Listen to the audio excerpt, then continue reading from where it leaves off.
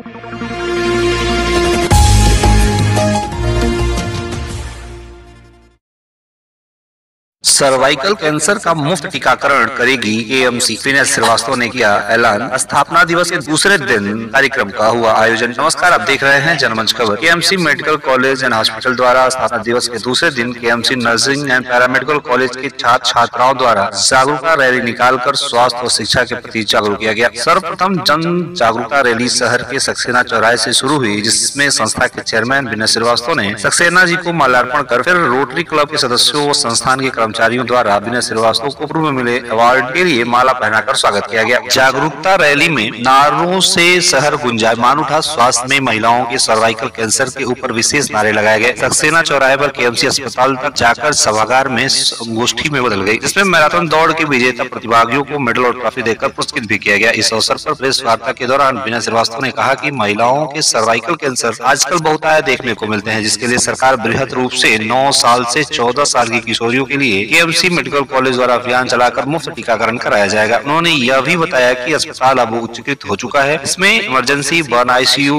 ICU critical care के साथ साथ ट्रामा यूनिट और दिव्यांगजन हेतु पुनर्वास केंद्र की सुविधा भी पूर्ण रूप ऐसी तैयार है। छह सौ सत्तर बेड ऐसी लेस अस्पताल जनता की सेवा हेतु तैयार है। इसे विशेष बल देते हुए उन्होंने यह भी कहा कि शिक्षा व स्वास्थ्य के प्रति संस्था विभिन्न प्रकार की योजनाएँ चला रही है, जिसमें आम जनमानस को स्वास्थ्य सुविधाएँ सुलभ मिल सके। अवार्ड के संबंध में पूछे जाने पर उन्होंने बताया की पंद्रह वर्षो ऐसी शांति फाउंडेशन जनपद में शिक्षा के क्षेत्र में कार्य कर रही है। जब हर घर घर युवा तकनीकी व मेडिकल शिक्षा से पारंगत होगा, तब फाउंडेशन का उद्देश्य सफल होगा। उन्होंने यह भी कहा कि मेडिकल कॉलेज के बाद विश्वविद्यालय का शिलान्यास अप्रैल में किया जाएगा। इस अवसर पर मेडिकल कॉलेज परियोजना निदेशक Sanjay Srivastava, dean professor doctor DP Gupta MC nursing college के प्राचार्य डॉक्टर भानुप्रिया, चिकित्सा अधीक्षक सुरेश चुन्नीलाल, एडमिन संतोष श्रीवास्तव, संयोजक डॉक्टर धनंजय समेत अनेक लोग उपस्थित रहे। आपको बता दें की हाल ही में विनय श्रीवास्तव को तमी अवार्ड से सम्मानित भी किया गया है और साथ ही साथ महाराजगंज जनपद के लिए ग्रुप और इस तरह के ढेर सारे संस्थान संचालित किए जाते हैं जिससे कि लोगों की मदद की जा सके। Bureau report, Maharajganj.